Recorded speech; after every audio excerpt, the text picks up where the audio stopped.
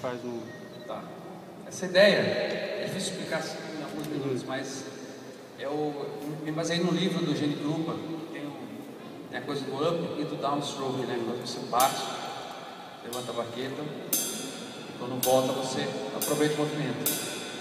Só que isso aplicado mais em cima dos dedos da mão, então fica não é uma coisa que fica, você não vai articular tanto como ele sugere no livro e tal. Então você vai, você vai a ação do, do movimento fica menor. Então ela fica mais em cima dos dedos do punho. Né?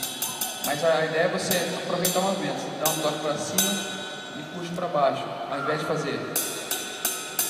Você vai. Né? Pensa na bola de basquete, você não faz em cima da bola, né? ela bem, ela, ela tem um balanço assim que você meio que aproveita. Né? É legal você conseguir fazer isso bem, de uma maneira bem reta, no começo, bem, forçar a ficar cocheiro, assim, cocheiros bem retas, né? Para não ficar. Uhum. Igual o Paramama. Que não é, que não é a ideia, né? A coisa, a ideia principal é você conseguir fazer notas, notas rápidas e bem definidas.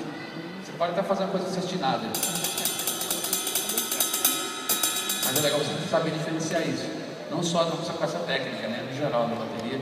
Às vezes você tem alguns alunos que vão tocar uma coisa mais pop, acabam tocando tudo meio cestinado, tudo meio hip hop, né? Tem coisa que. Pá! Tem coisa assim puxei. Então é legal já. A gente falou disso, é legal. Aí você vai, você vai aumentando a velocidade, né? Começa a misturar outras figuras, tercinas, né? Começa para cima, para baixo, para cima. Ao próximo tempo pega puxando, né? Uhum.